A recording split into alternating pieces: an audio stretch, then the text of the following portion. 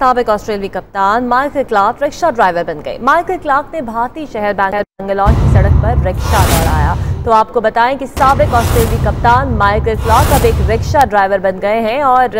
उन्होंने पहली बार ये रिक्शा चलाया बेंगलोर की सड़क पर और इसको खूब इंजॉय किया तो माइकल क्लार्क ने भारतीय शहर बेंगलोर की सड़क पर रिक्शा दौड़ाया सबक ऑस्ट्रेलवी कप्तान है माइकल क्लार्क और अब क्रिकेट से वो रिक्शा ड्राइवर बन गए हैं उन्होंने पहले रिक्शा चलाना सीखा और उसके बाद बेंगलोर की सड़क पर रिक्शा दौड़ाया और ये मनाजर भी आप देख सकते हैं भारतीय शहर बेंगलोर की जहां पर सबक ऑस्ट्रेलियाई कप्तान माइकल क्लार्क रिक्शा दौड़ा रहे हैं